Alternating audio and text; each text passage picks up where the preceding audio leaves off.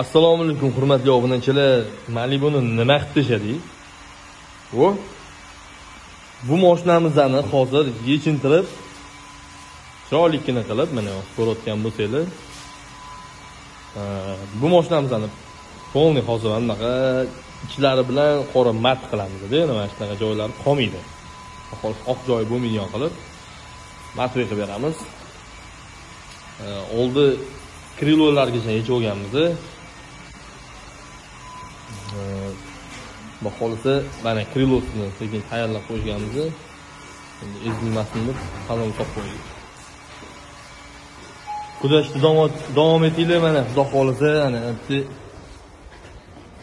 eshiklarini yechib olib mana matvoy qilamiz agar kimga shunaqa matoylik kerak xizmat kerak bo'lsa bemalol bizga murojaat qilasizlar kuzi bronye shu защитный plyonka yoki tonirovka ishlari kerak bo'lsa bemalol bizga murojaat qiling salomat bo'linglar